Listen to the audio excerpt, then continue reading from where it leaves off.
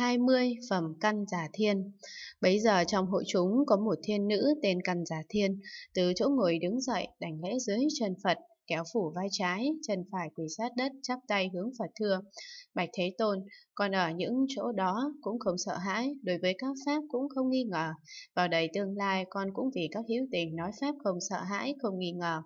Khi ấy Đức Thế Tôn liền mỉm cười, từ miệng Ngài phóng ra ánh sáng màu vàng chiếu khắp mười phương vô biên thế giới, rồi chiếu trở lại cõi phạm thế, hiện đại thần thông, trở về nhiễu quanh bên phải Phật ba vòng. Hiện thần biến xong nhập vào trong đảnh Phật. Khi ấy, càn giả thiên thấy sự việc này rất hoan hỉ, phấn chấn, lấy hoa bằng vàng, xinh đẹp trí thành, cung kính, giải lên Đức Như Lai, vì thần lực của Phật làm cho hoa vàng này phóng lên và bay phấp phới trong không trung.